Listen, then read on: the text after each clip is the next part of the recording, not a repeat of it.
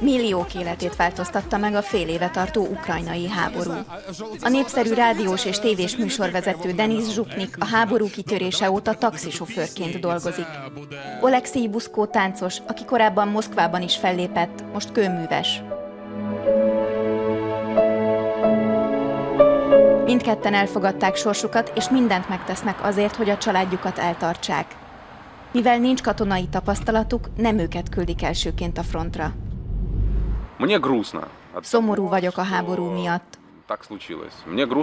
Sajnálom az országot, hogy családok szakadnak szét, sorsok törnek össze.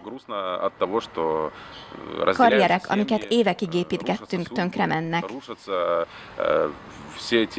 Az embereknek fel kell adniuk az addigi életüket, és valami olyasmit tenni, amit elvárnak tőlük, mondta Denis Zsupnik. Nikita Primenko korábban filmforgatásokon dolgozott, most pedig motorbicikliket javít. A biológus Jevgen Jelpitiforov a túlélés kulcsát a barátaiban találta meg.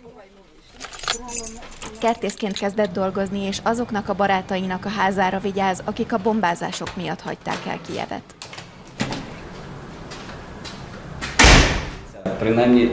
Ha én lennék ezeknek az embereknek a helyében, valószínűleg eszembe sem jutna fizetni ezért a szívességért. Ők mindannyian a barátaim, akik megkértek arra, hogy figyeljek a házukra. Az összes lakáskulcs ezeket a házakat nyitja, mondta a biológus.